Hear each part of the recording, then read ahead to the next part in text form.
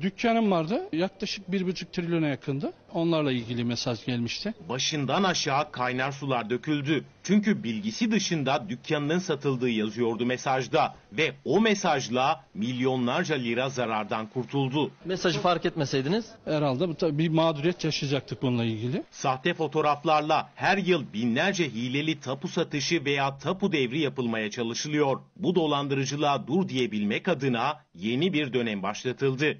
Senede 25-30 milyona yakın vatandaşın doğrudan veya dolaylı e, bize işleri düşüyor. Parasal değeri de yüksek olunca art niyetli bir takım insanlar bir takım sahte belgelerle işlem yapma durumları söz konusu olabiliyor. dolandırıcılara göz açtırmamak adına Tapu ve Kadastro Genel Müdürlüğü yeni bir adım attı. SMS dönemini başlattı. Eğer üzerinizde bir taşınmaz varsa E-Devlet sistemi üzerinden o taşınmazın size ait olduğunu göstermesi için telefon numaranızı kaydediyorsunuz ve sizden habersiz bir işlem yapıldığı anda telefonunuza mesaj geliyor. Robot resimler kullanarak e, veya memurun farkına varmasının çok zor olduğu bir takım e, işlemlerle sahtecilik e, olayları olabiliyor. Halil Bey'in telefonuna bundan bir ay önce bir mesaj geldi. Mesajda adınıza kayıtlı taşınmazlar üzerine işlem yapılıyor diyordu. Aslında Halil Bey hiçbir şey satmamıştı. Mesajı görünce şok oldu ve soluğu hemen tapu müdürlüğünde aldı. Dolandırıcıların tuzağına düşmekten bu sayede kurtuldu Halil Bey. Eğer telefonunu e-devlet sistemine kaydetmemiş olsaydı